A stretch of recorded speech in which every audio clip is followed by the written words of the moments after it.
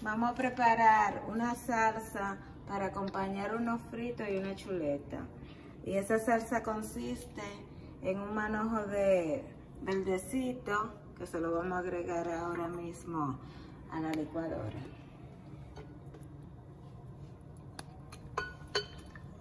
Le vamos a agregar cuatro dientes de ajo y media cebolla.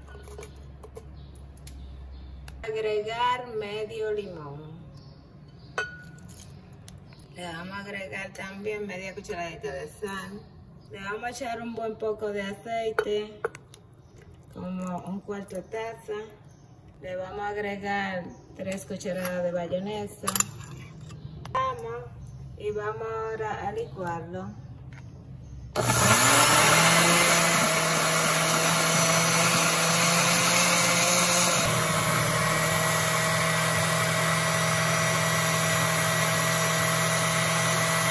Ahora a ver la consistencia, miren, cremosito. Bueno mi gente, así nos queda nuestra salsa para acompañar los fritos, carne y lo vamos a acompañar con unos platanitos fritos y una chuleta. Espero que les guste, que la hagan, se suscriban al canal, le den a compartir y nos vemos en la próxima receta. Chao.